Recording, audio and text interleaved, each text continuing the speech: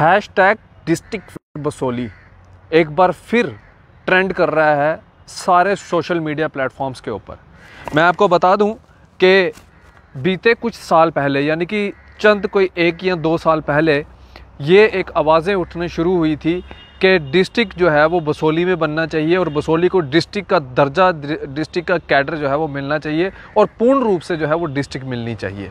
एक बार फिर अब चुनावी बिगुल बच चुका है और एक बार फिर जो है, ये पोस्ट जो है, वो काफ़ी इस समय जो है, वो ट्रेंडिंग में चल रही है।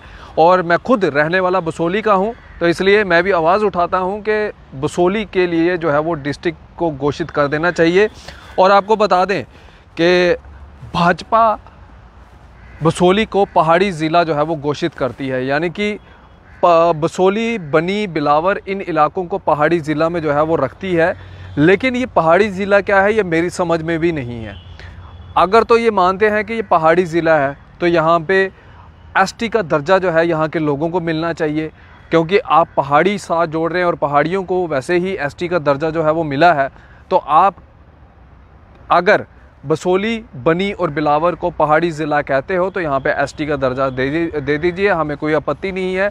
अगर आप यहाँ के लोगों को पहाड़ी नहीं मानते हो, और सिर्फ़ कोई प्रोपोगंडा के चलते आप बसोली के लोगों के साथ, बनी के लोगों के साथ या बिलावर के लोगों के साथ कोई प्रोपोगंडा कर रहे हो तो आपको यहाँ पे पूर्ण रूप से जो है वो डिस्ट्रिक्ट का दर्जा जो है बसोली को घोषित कर देना चाहिए। मैं किसी दूसरी जगह के ख़िलाफ़ नहीं हूँ, लेकिन बसोली को प्रायोरिटी पर रखना इस समय हर किसी का जो है वो धर्म और कर्तव्य भी जो है वो होना चाहिए, क्योंकि बहुत ही पुराना जो है एक इतिहास है बसोली का। और world famous Ramlila world famous Basohli की पेंटिंग और वर्ल्ड फ़ेमस बसोली का पश्मीना शॉल ये पूरे विश्व में बसोली को इस तीन चीज़ों से जो है वो जाना जाता है।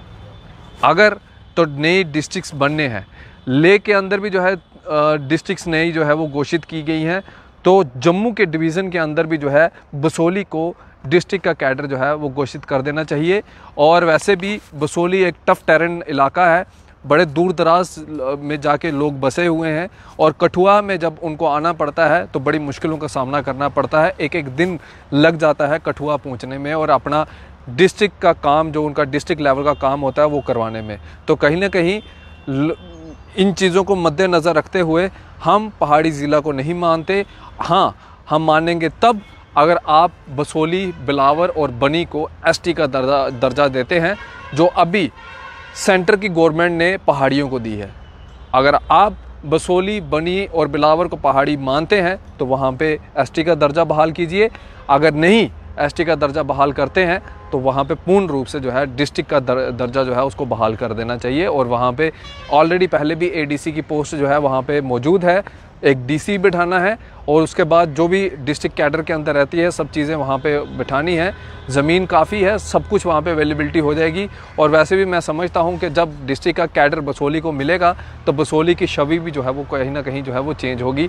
और बड़ा ही पुराना एक ऐतिहासिक जगह है बसोली। और कहीं ना कहीं हर किसी की कोशिश ये है कि बसोली को ज़िला जो है वो मिलना चाहिए और हमने भी ज़रूरी समझा, जब ये हमने पोस्ट पढ़ी तो उसके बाद हमने भी सोचा, समझा और उसके बाद हमने भी अपने इस चैनल के प्लेटफॉर्म के माध्यम से जो है एक आवाज़ उन लोगों की बुलंद करने की कोशिश की और मैं खुद बसोली का रहने वाला हूँ तो मैंने भी ज़रूरी समझा कि बसोली की डिस्ट्रिक्ट के लिए आवाज़ जो है वो बुलंद की जाए।